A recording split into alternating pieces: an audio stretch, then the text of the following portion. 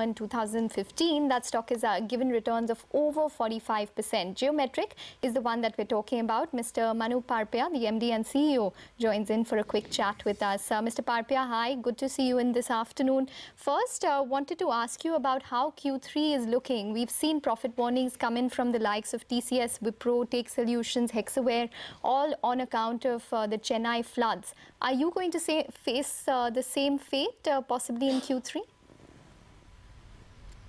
Well, obviously I can't talk about Q3. This is a quiet period now. Where we are almost at our results.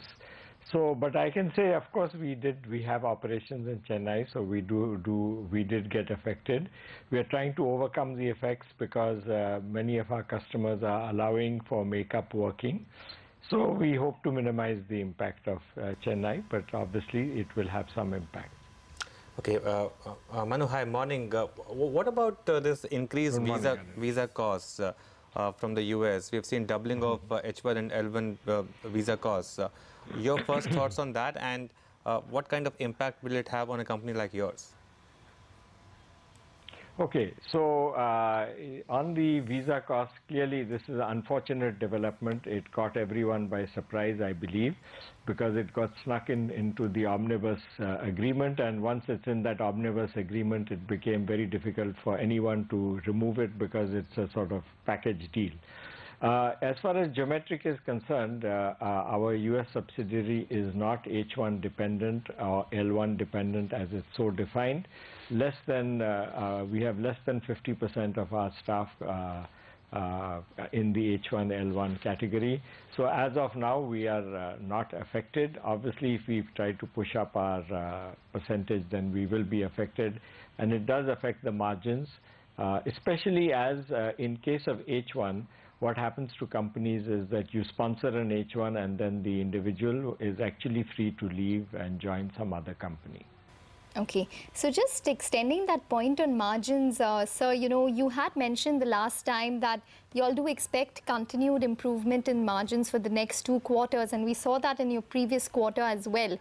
Uh, what is a sustainable run rate that we can expect for margins, and do you still stand by, by that guidance, or now there are too many variables that you need to be that need, you need to factor in?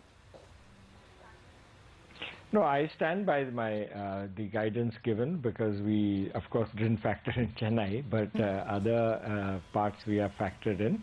Uh, and uh, uh, I think I also mentioned that we would see in the next two uh, quarters a modest growth in revenues and an, uh, some improvement in margins. However, let us not uh, expect the same improvement in margins between Q1 and Q2 that we saw, but we'll see some improvement. Okay, and uh, what about uh, attrition, Manu? How, has that been a bit of a problem for you? And uh, if yes, uh, how, how do you plan to address it?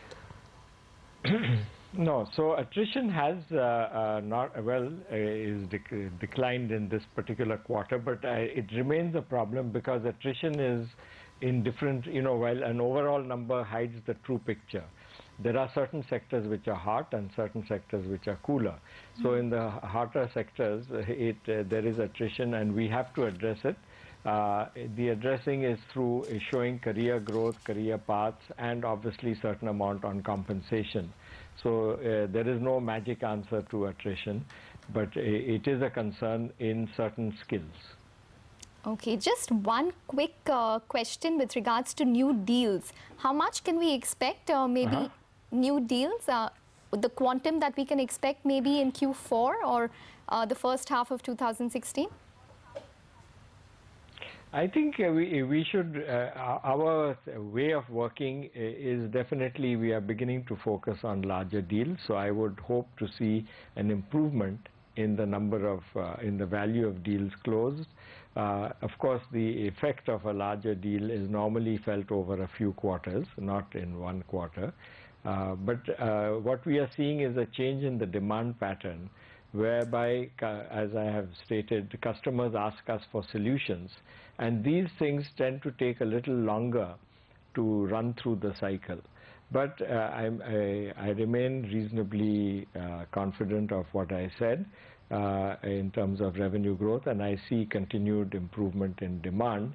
But the quality of demand has shifted I believe it has shifted for the entire software industry, but certainly for geometric, we are seeing a different uh, type of demand. Okay, fair enough, uh, Mr. Parpia. Thank you very much for joining in and wish you